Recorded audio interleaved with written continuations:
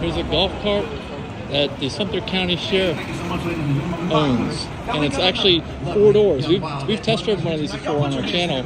It's only two doors and sits like, and it sits for people, but not comfortably. This one you could put like a perp in the back, and I don't know if it'll outrun. Yeah, I don't know if it'll outrun any of these. I don't know how fast it is. It doesn't show it's the atomic, even though it looks like the atomic carts. Exactly who makes this. I'm guessing it's the same company in like China or something. Doesn't it seem like the same one? What's the interior look like? It looks like yeah, the interior looks also like the atomic car on the inside. There's no barrier between the back seat and the front seat. There's no barrier. Uh, so I guess the, the perps have to be well behaved though if you're gonna ride in this thing. Otherwise, there's gonna be a problem.